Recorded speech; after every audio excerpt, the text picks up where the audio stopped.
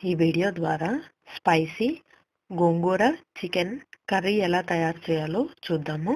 ముందుగా కావలసిన పదార్థాలు చికెన్ హాఫ్ కేజీ పసుపు one tablespoon salt one tablespoon కారం వన్ టేబుల్ స్పూన్ ధనియాల పొడి one tablespoon garam masala powder one tablespoon అల్లం వెల్లుల్లి పేస్ట్ వన్ టేబుల్ స్పూన్ గోంగూర రెండు కట్టలు ఆయిల్ సిక్స్ టేబుల్ స్పూన్స్ పచ్చిమిర్చి నాలుగు ఉల్లిపాయ ముక్కలు వన్ కప్పు టమాటా ముక్కలు హాఫ్ కప్పు బిర్యానీ ఆకు ఒకటి షాజీరా హాఫ్ టేబుల్ స్పూన్ చెక్క వన్ ఇంచ్ లవంగాలు నాలుగు యాలుక్కాయ ఒకటి కొత్తిమీర కొంచెం.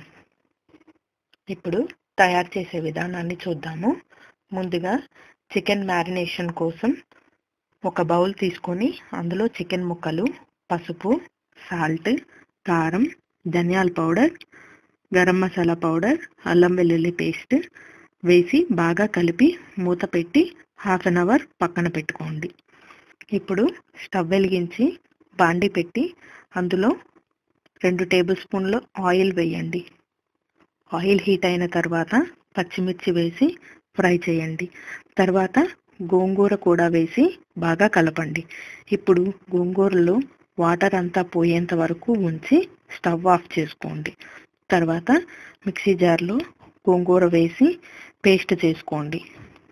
ఇప్పుడు మరొక బాండి పెట్టి అందులో ఆయిల్ వేయండి.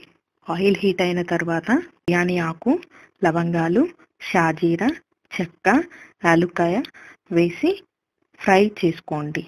తర్వాత ఆనియన్ ముక్కలను వేసి కలుపుకోండి. ఇప్పుడు అల్లం వెల్లుల్లి పేస్ట్ సాల్ట్ పసుపు కూడా వేసి బాగా కలపండి.